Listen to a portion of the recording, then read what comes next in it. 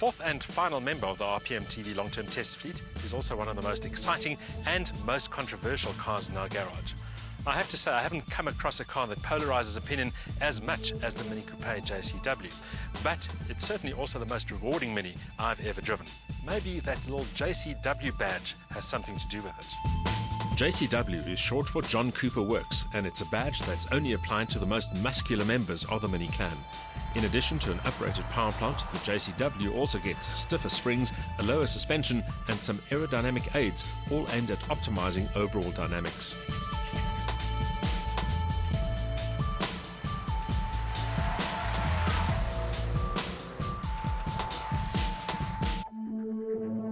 Forgiven for believing that the Mini Coupe is smaller than the standard Mini, but in fact, you'd be wrong because all the key dimensions, length, width, and wheelbase, are exactly the same as your common or garden Mini. However, what is different is the height. This car is more than 50 millimeters lower than a Mini, and of course, the roof looks completely different as well.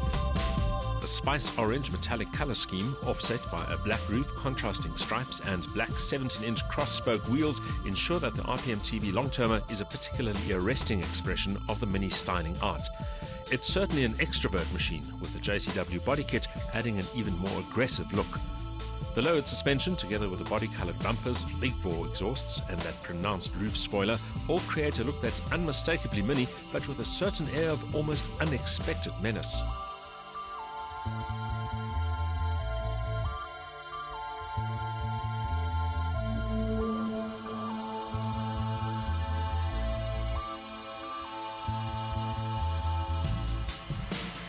The interior continues the performance theme.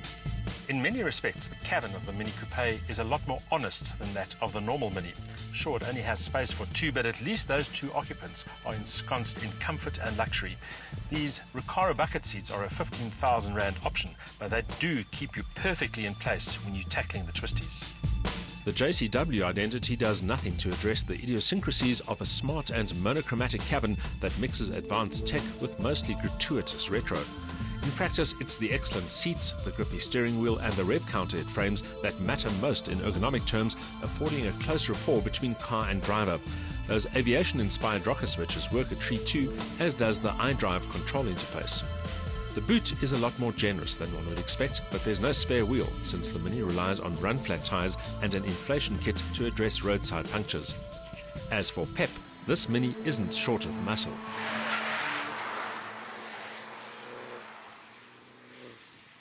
Anybody who's experienced the firepower of the Mini Coupe JCW will find it hard to believe that the engine under the bonnet is a mere 1600cc unit. But of course, this isn't just any old engine. It's a turbocharged unit. It uses Valvetronic variable valve control and it delivers 155 kilowatt of maximum power together with a torque peak of 260 newton meters. And in fact, it'll do 280 newton meters on overboost for short bursts. Despite that small capacity, the twin scroll turbo layout and some clever engine mapping provides a real shove from very low engine revs, and there's almost no sign of turbo lag. The beefed up brakes really come into their own in a track environment where their ability to offer fade free and progressive braking is a big confidence booster. The only disappointment is a steering that isn't nearly as communicative as a sporty car like this deserves, thanks to its electric power assistance. Still, the lively chassis does make up for it.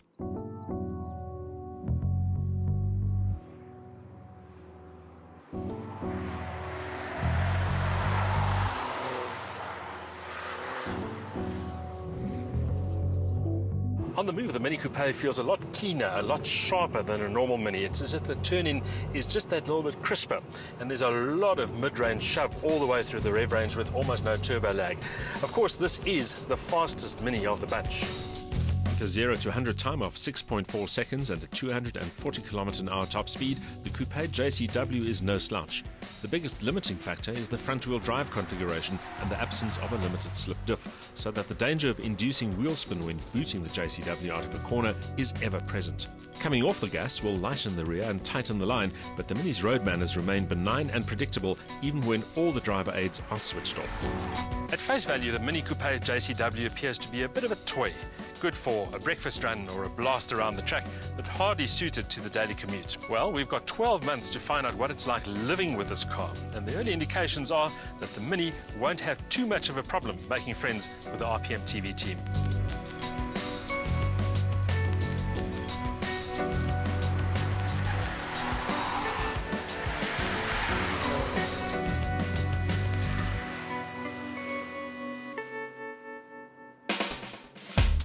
Small doesn't have to be slow, as this turbo 1600 engine proves. It delivers plenty of clout, ensuring that the Coupe JCW easily lives up to its performance aspirations.